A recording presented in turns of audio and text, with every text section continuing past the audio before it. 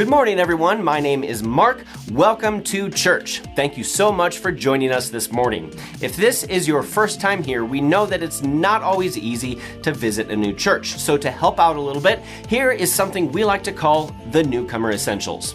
If you're a mom who's nursing or you just have a fussy kiddo, we have a quiet room available upstairs overlooking the auditorium where you can take your little one and still catch the service. We have ministries available for kids from birth through sixth grade. Classroom ages and locations are posted in the hallways if you haven't already checked your kids into their classes. Once service is over, classroom checkout begins immediately. We'd really like to get to know you, so if you haven't already done so, please fill out a Connect card from the seat back in front of you and drop it in the basket on the ledge of the control booth on your way out today.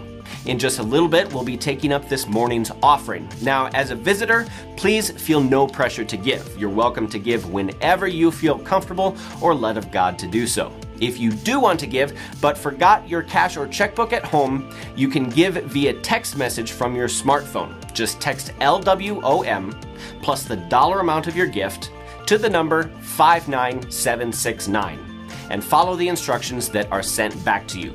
And hey, we hope that you join us again next week. We'd like to invite you to come a little early for free coffee and donuts in the fellowship hall starting at 9 o'clock. Thanks again for joining us today, and here's the rest of this week's announcements. The launch of our small group ministry is drawing very near, and we've set out to answer the question how many groups do we have to have going right away? If you've already signed up, thank you very much, but if you haven't, here's another chance. In the foyer after service, there will be some people with clipboards. These people are here to take your name if you're generally interested in joining a small group. There's no obligation, we just need a general idea of how many groups we need to have going right away.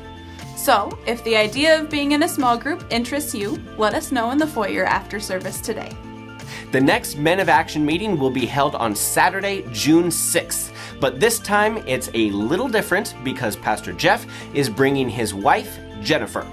Here's how the day will work. We're going to be having a family picnic at East Leach Park from noon to 3 o'clock.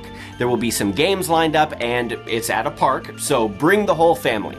The church is providing hot dogs and drinks, and we ask that all of those who come bring some sort of side or dessert to share, and all are welcome to come. Then, men, bring your wives for the service that evening at 6:30 because Jeff will be speaking to us and Jennifer will be speaking to the ladies. There will be no childcare, so be sure to get a babysitter lined up for the little tykes.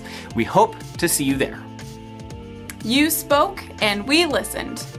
Well, actually, you raised your hands and we saw. But anyway, we are moving forward with the photo directory that we presented to you a few weeks ago. Many of you said that you would participate if we did it, and here's your chance. The dates for photography are Friday, May 29th from 2 p.m. to 9 p.m., and Saturday, May 30th from 10 a.m. to 2 p.m. Please allow up to 45 minutes for each portrait session. Now, there are still a lot of session times to fill up, so Kristen Stroman will be available after service today to schedule your appointment and answer any questions that you may have we would like to offer a most sincere congratulations to those in our church who are members of the 2015 graduating class Daisy Jordan, Ben Langner, Anna Dean, and Matthew Decker. Congratulations, you guys. And here's the next three weeks. Next Sunday, May 24th, don't forget about the St. Luke's Nursing Home Roundup at 9:30 a.m. Talk to Barb Kearns if you can help out.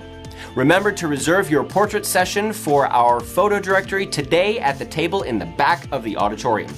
June 6th, Jeff and Jennifer Warner will be back in Spencer for a picnic and a service. And please remember to check your bulletin for more information on these and other announcements.